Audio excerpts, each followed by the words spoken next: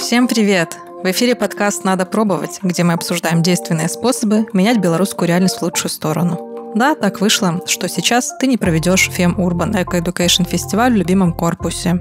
Но люди не перестали нуждаться в информации и поддержке, а роутеры, к счастью, не перестали принимать безлимитные мегабайты. Многие белорусские инициативы очень круто работают со своей аудиторией онлайн. Сегодня мы поговорим об этом, о том, как провести свой ивент в сети толково и безопасно. Меня зовут Мария Пархимчик, а поделиться со мной лайфхаками любезно согласились Тони Лажден и Вера. Вера – менеджерка образовательных инициатив и тренерка неформального образования, амбассадорка движения She Decides, выступающего за репродуктивные права и телесную автономию для каждой и каждого – основные мероприятия, прямо которые шли постоянно у меня в моем прошлом, это а, марафоны, которые мы организовывали с коллежанками. Вообще эта идея пришла двум другим моим коллежанкам. Э, идея э, организации марафонов, тогда это еще было до ковида, э, они придумали сделать э, марафоны офлайн по теме сексуального и репродуктивного здоровья информирование и также поддержка людей, которые приходят на такой марафон. Ну, понятно, эта тема, она и очень важная, она и чувствительная, и она про всех, да, то есть тут у каждого есть мнение, у каждого есть свой личный опыт, то есть у них была идея проведения офлайн мероприятия с приглашением разных э, эксперток и экспертов, но потом случилось очень много разных событий, и уже вынуждены были мы продолжать это онлайн. Тони Лажден, антивоенная фем-квир-активистка, солидерка Минского подружества «Тендер на гендер».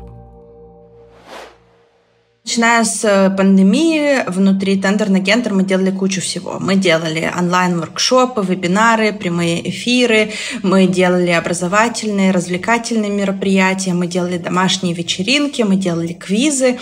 Мне кажется, мы перепробовали все форматы, какие только можно. Мы делали такие большие онлайн-мероприятия, э, связанные там с обсуждением какой-то феминистской координации. Мне кажется, что за последние три года уже нет такого формата онлайн-мероприятия, в котором я не поучаствовала, участвовал или который бы не организовал сам.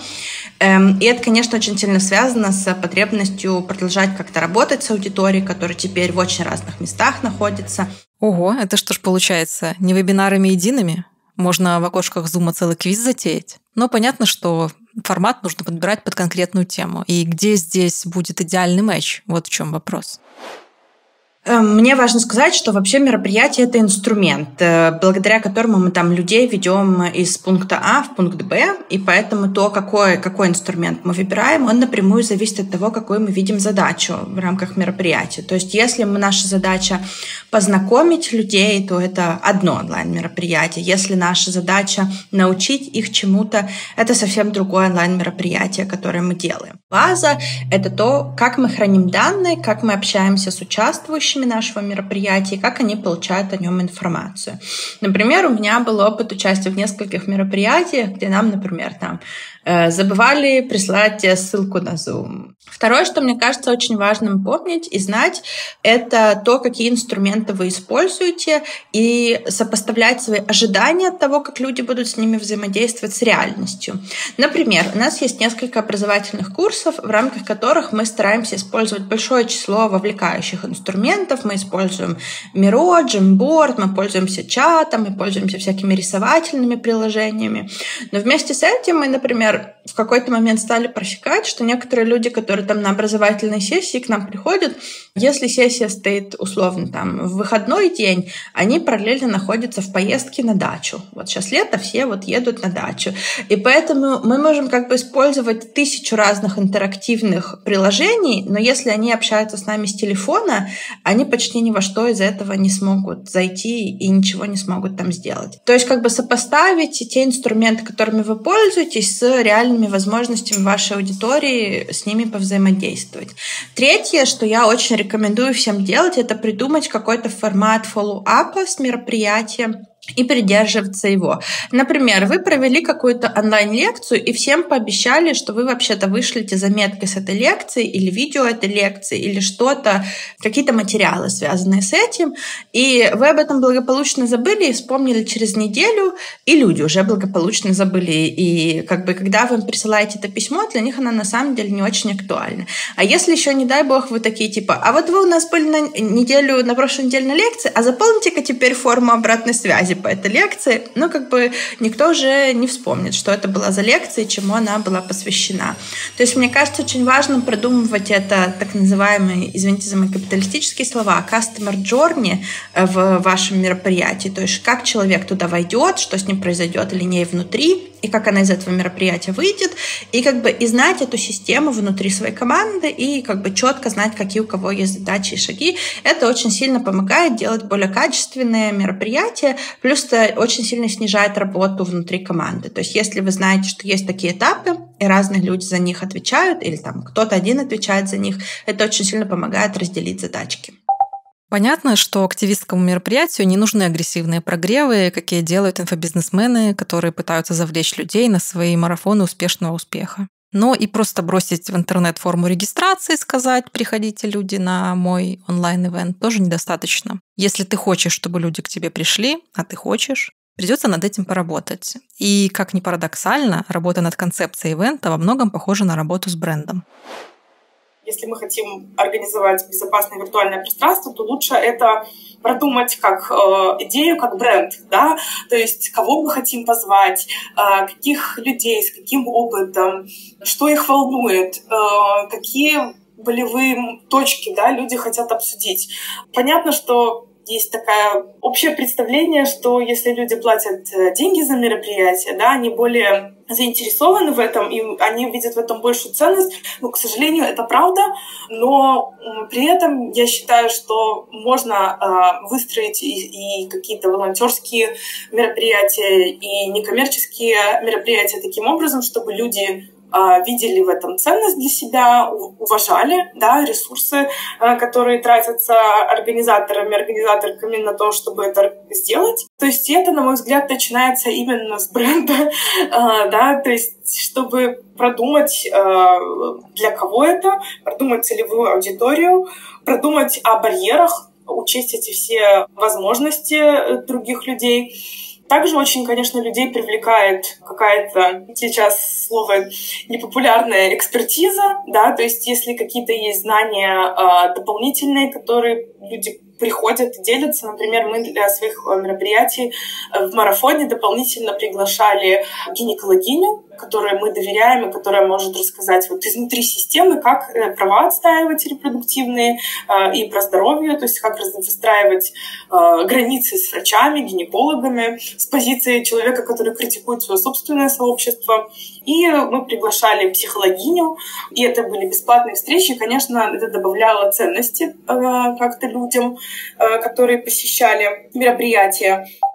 Мне всегда было интересно, как организаторы онлайн-ивентов отсеивают подозрительных людей. Ну, понятно, что условный фейс-контроль на входе в Google Meet ты не поставишь. Но прощупать людей тебе нужно. Как же это сделать поэлегантнее? мы даем, например, Google форму или какой-то контакт для связи, где люди могут э, написать свои данные. Если нужны какие-то дополнительные регистрационные данные, иногда бывает важно дать мотивационный какой-то компонент, чтобы, если ограниченные э, места, чтобы мы как организаторки могли выбрать э, тех людей, которые наиболее важны наше мероприятие, как-то это оценить. То есть это, например, тоже очень важно продумать. Конечно же, большая, возможно, вещь, которую я опустила, это безопасность, да, то есть кого мы приглашаем. Если это безопасное пространство, то есть это должен быть какой-то конкретный человек, и мы сами решаем, как нам его верифицировать, и нужно ли верифицировать. Через социальные сети можно верифицировать, через кого-то, кого мы знаем, но это тоже э, также влияет на доступность, да, то есть мы можем не иметь общих каких-то контактов, или у человека не может не быть даже социальных сетей, но нужно как-то стараться свести эти моменты и доступности, и безопасности. Когда мы э, работаем с темой безопасности, мы всегда очень четко людям рассказываем, как используется их личная информация.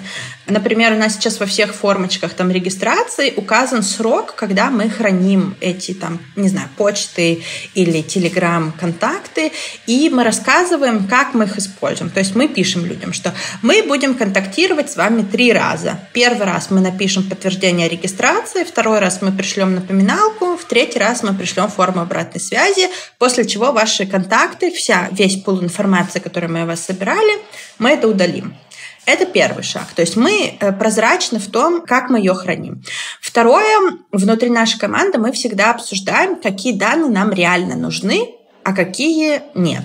Ну вот, например, нам для того, чтобы понять, можно человека регистрировать или не регистрировать на какое-то мероприятие, мы спрашиваем условно их почту или там телеграм и просим какую-то социальную сеть. Мы просим, что она должна быть либо открытой, либо они должны быть подписаны на нас с этой своей социальной сети, чтобы мы могли понять вообще, что это за человек. И вот мы, например, когда у людей просим э, ссылку на страницу в социальных сетях, мы объясняем, зачем мы это спрашиваем. Мы прям таким меленьким текстом в анкете пишем, что мы это спрашиваем для того, чтобы быть уверенными, что вы реальный человек, который имеет отношение к нашему сообществу. Просто как бы объясняем, для чего нам эта информация нужна. Если говорить про другие какие-то такие онлайн-формы работы, которые у нас есть, у нас есть э, служба экстренной психологической помощи. В большинстве случаев она работает онлайн, и мы у людей спрашиваем там много приватной информации. Например, мы спрашиваем их возраст, мы спрашиваем, имеют ли они э, предыдущий опыт получения психологической помощи. Мы спрашиваем, э, в каком городе они сейчас живут, потому что это помогает нам перенаправить их к специалисту или специалистке. И, короче, и в начале формы мы прямо им рассказываем, как мы используем эту информацию. Что, например, мы ее используем для статистики обращений это помогает нам дальше в нашем фандрайзинге. То есть мы рассказываем другим людям, которые, возможно, хотят поддержать нашу там, службу помощи, кто к нам обращается, откуда эти люди, какого они возраста и с какими темами они к нам приходят. Вместе с этим мы точно так же в самом конце рассказываем, что когда вот люди, которые к нам обратились, закончат свой психологический э, протокол помощи, нам маякнет их психологиня и скажет, что данные можно удалять. И мы тогда удаляем все личные данные этого человека, его имя или ее имя, возраст, э, мы удаляем их социальные сети и все контакты. И остается лишь такой просто анонимный профиль, что был человек из города А, вот с такими запросами, и дальше мы указываем, что в возрастном промежутке, не знаю, там 20-30 лет. Все. Хорошо, мы посмотрели, что наши будущие гости постят в своих инстаграмах, и нам это понравилось. Но сами участницы и участники мероприятия, скорее всего, друг с другом не знакомы. Они придут и увидят черные окошки, аватарки или каких-то незнакомцев. Как в этом случае снять напряжение, которое может возникнуть? Мы не можем знать, что происходит за этой камерой, видят ли э, других участников э, люди там в комнате, слышат ли они их, используют ли участники э, наушники, чтобы не слышали личные какие-то истории там жители квартиры, комнаты. Это важно проговаривать, и по моему опыту, что люди иногда про это не думают, то есть они делают это не специально. Важно проговорить, чтобы этого не было. Если есть возможность, например, показаться э, перед началом мероприятия, да, показать э, свое лицо, э, то это очень тоже важно, если есть такая возможность.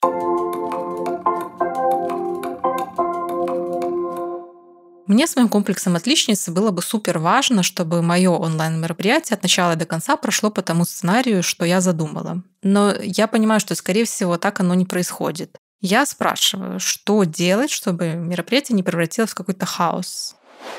Я часто встречаюсь с ситуациями, когда, например, мы говорим, что будет образовательное мероприятие, люди пришли на то, что они думали, будет лекции, и они думали, что они типа просто послушают. И будут параллельно заниматься своими делами, а где-то в середине наша лекторка или там выступающая говорит, что так, а сейчас мы разобьемся в breakout rooms, и у нас будет 15 минут интенсивного обсуждения чего-то.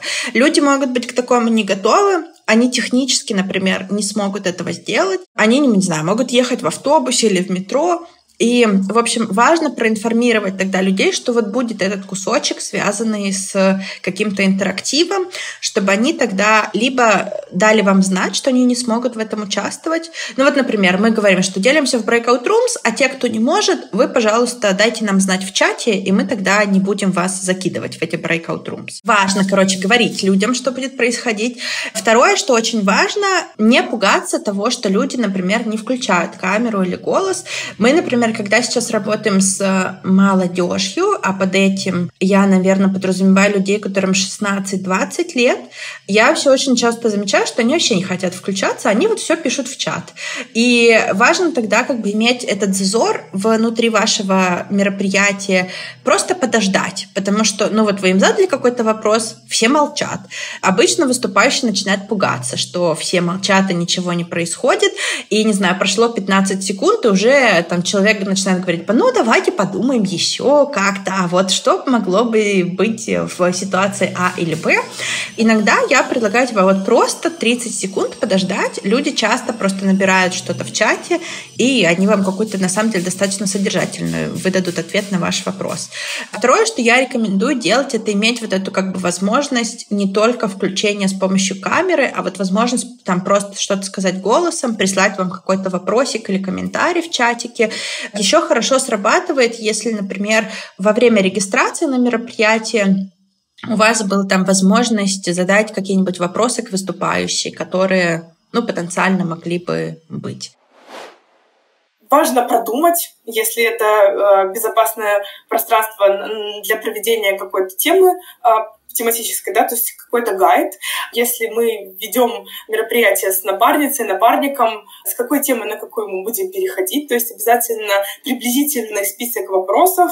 Или если у нас беседа бывает иногда идет очень не по, не по траектории, которую мы запланировали. И это тоже нормально, то есть, но чтобы были какие-то опорные точки, на которые мы могли опираться и э, знать, да, что зачем следует хотя бы примерно.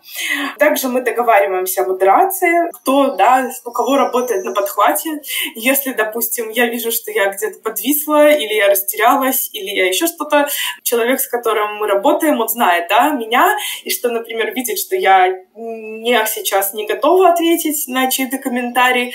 А, то есть это постоянная работа на подхвате друг у друга.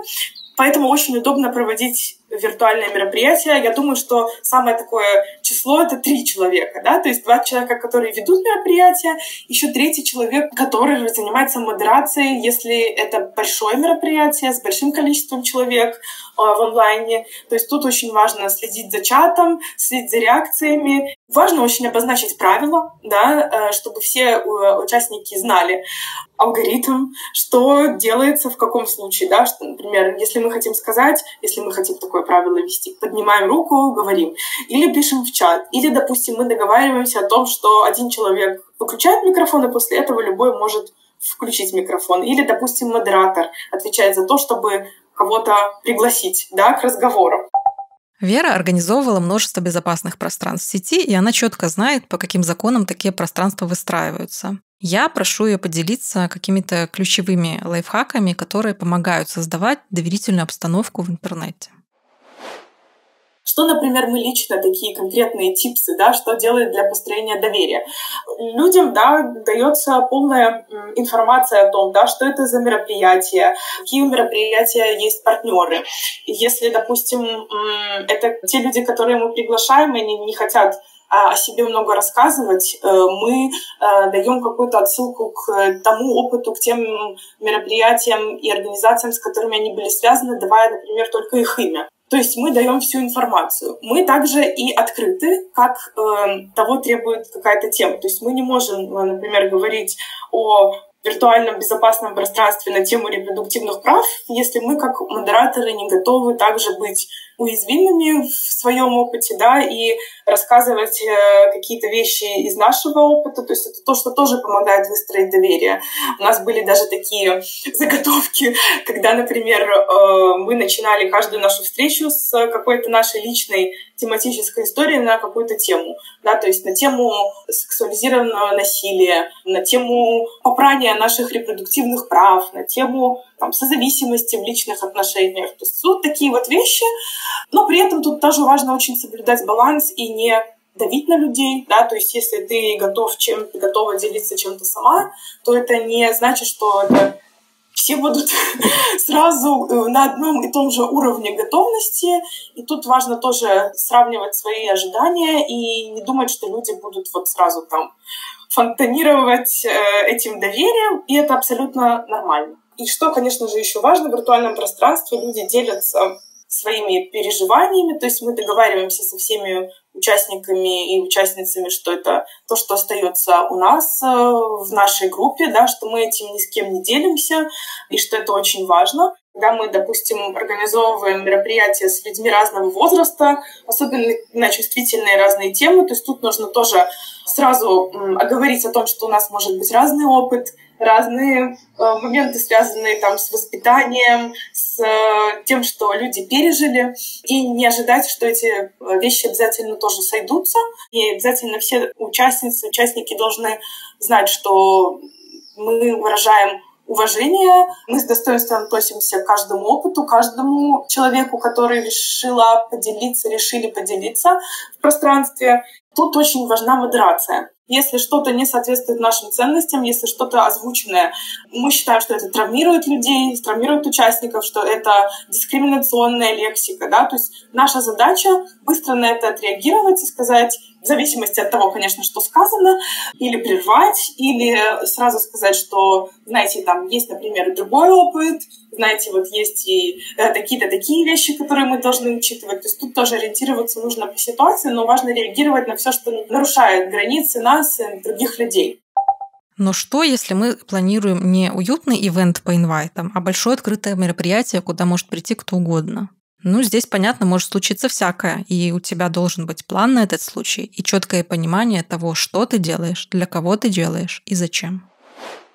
На больших э, мероприятиях, еще когда только начался коронавирус, и все эти моменты, они только начинали простраиваться, не было на готове модерация. Допустим, человек в Зуме включил э, там, ужасное видео с оскорблениями в качестве трансляции в Зуме. То есть это очень тяжелые моменты, но тоже важно знать, что все может произойти.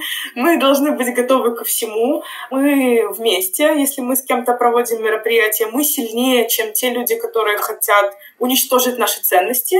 И да, мы как бы это должны максимально нивелировать, быстро отреагировать и побеспокоиться о том, чтобы это не так травмировало нас и участников, участниц, э, и чтобы это не повторилось в будущем. Тони называет себя ветераном организации онлайн-мероприятий, и я не упускаю возможности спросить у такого многоопытного человека, что же заходит в Беларуси прямо сейчас лучше всего. Мы занимаемся феминистской работой и правами там женщин ЛГБТКИ, и мы видим, что онлайн-мероприятия успешные, они завязаны на каких-то чувствительных темах. Ну вот условно, как найти дружественную себе, там, queer-friendly психотерапевтку? Вот это находит большой отклик. А всякие мероприятия, которые ориентированы типа только на Беларусь, которые там связаны с знакомством, взаимоподдержкой, каким-то построением сообщества, это все, ну, реалистично говоря, значительно лучше сейчас работает внутри Беларуси. То есть лучше сделать крошечное мероприятие на 5 человек внутри Беларуси, чем делать онлайн-мероприятие на 55. И, честно говоря, по эффекту ваше крошечное мероприятие будет значительно более мощное, чем большой онлайн. Если вы хотите делать что-то только для людей в Беларуси, я искренне как бы рекомендую попытаться это организовать, пускай в очень-очень маленьком формате, но внутри страны, потому что мы знаем по оценкам потребностям, что людям очень не хватает этих мест для встреч, и они хотят как бы увидеть хотя бы одно новое лицо внутри Беларуси со своими похожими ценностями. А онлайн может решить более такие масштабные вопросы, типа как поддерживать солидарность между Беларусью внутри и за ее пределами, как налаживать этот контакт между разными теперь уже поколениями и диаспорами, как э, взаимодействовать с людьми в таком ну, большом глобальном понимании смысла этого слова. То есть онлайн может решать такие вот масштабные вопросы про наше коллективное будущее, наше коллективное восприятие настоящего, вообще какие-то общие стратегии помогает вырабатывать и вот как бы решает, как мне кажется, такой немного другой спектр задач и вопросов. Сейчас мы заметили, что люди хорошо приходят на онлайн-мероприятия, которые очень короткие по своему формату. То есть если мы обещаем, что это будет час, и мероприятие укладывается в час, то туда приходит на самом деле значительно больше людей, чем, например, если мы говорим, что это будет там полтора часа или два часа. То есть э, ставить какое-то такое более удобное время проведения этого мероприятия, ограничивать его по продолжительности, это помогает вовлекать больше количество людей. Вообще важно воспринимать онлайн не как заменитель чего-то, а как э, новую возможность. Нужно видеть в таком формате плюсы и использовать их. Ценность быть услышанным — это тоже очень важно для онлайн-мероприятий, чтобы люди имели возможность высказаться и быть услышанным, потому что кажется мне, что это не часто бывает у нас, когда, когда и в жизни нас могут послушать, и э, определить свое мероприятие как место, где люди реально могут быть такими, какие они есть, во всем их опыте, вне зависимости от того, с каким бэкграундом они пришли люди могут и своей экспертизой делиться, это очень важно, да. У меня, например, да, как у девушки тоже с определенным бэкграундом может быть свой опыт, и я эксперткой являюсь в своей жизни, и тут тоже можно создать такой момент обмена этого опытом. То есть не обязательно приносить эту экспертизу и, приносить, и показывать ее как что-то что сверху, да, приносится людям. Если мы даже приглашаем какого-то эксперта, экспертку, эксперту и экспертке больше нужны люди, чем людям нужен этот эксперт или экспертка, да, то есть это взаиморавный обмен опытом. Вот так, если это преподносить, то это важно. В завершение хочется сказать, что мы не можем знать наверняка, насколько светлее станет от твоего ивента человеку за черным окошком. Но мы наверняка знаем одно. Если ты горишь своей идеей, то донести ее, даже через расстояние, надо пробовать обязательно.